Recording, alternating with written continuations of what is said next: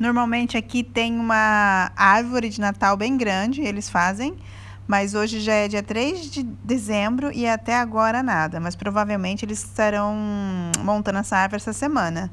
É uma árvore bem grande e simboliza o Natal.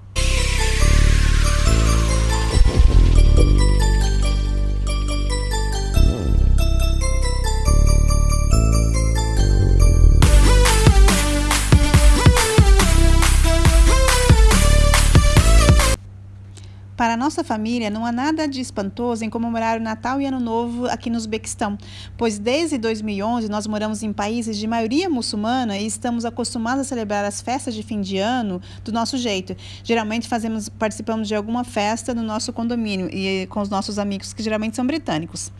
Aquelas celebrações tradicionais que normalmente são realizadas durante o Natal em países de origem cristã ocorrem aqui no Uzbequistão durante o Ano Novo. Este feriado foi introduzido ao povo uzbek juntamente com a adoção do calendário gregoriano no final do século XIX pelos russos, quando o país ainda fazia parte da antiga União Soviética. Dessa maneira, o povo uzbek utiliza os mesmos símbolos da Rússia, sendo o principal uma árvore verde decorada. Mas os locais, os uzbeques, eles não associam essa comemoração do, é, relacionado ao nascimento de Jesus Cristo, porque nunca foi algo religioso, pois o país ele é predominantemente muçulmano, com uma história de 70 anos de ateísmo soviético. E a maioria dos cristãos que moram aqui, que geralmente são 7%, do, 7 a 10%, é, são cristãos ortodoxos e celebram o Natal no dia 7 de janeiro. As, as celebrações de finais de ano, eles são é, parecidas com a do Brasil, no sentido de reunião familiar. As famílias se reúnem para celebrar, é, trocam presentes, como essas cestas que vocês estão vendo aí, e, mas geralmente eles trocam chocolates, né?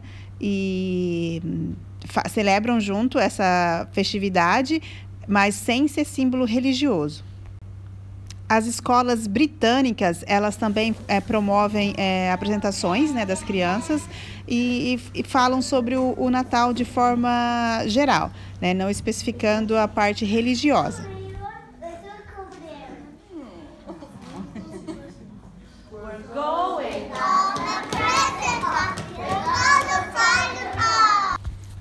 Aqui não sentimos aquele clima natalino espalhado pela cidade, mas por outro lado, temos a oportunidade de criar nossas próprias tradições, experimentar eh, novidades, fazer coisas diferentes daquelas que estávamos acostumados a fazer no Brasil.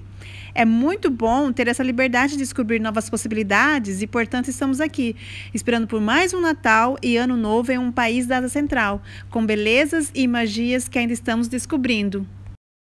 Desejo a todos um Natal harmonioso, comemorando a vida e espalhando amor pelo mundo, renovando a esperança de que o ano de 2021 traga muitos dias felizes e prósperos e que o coronavírus desapareça. Amém.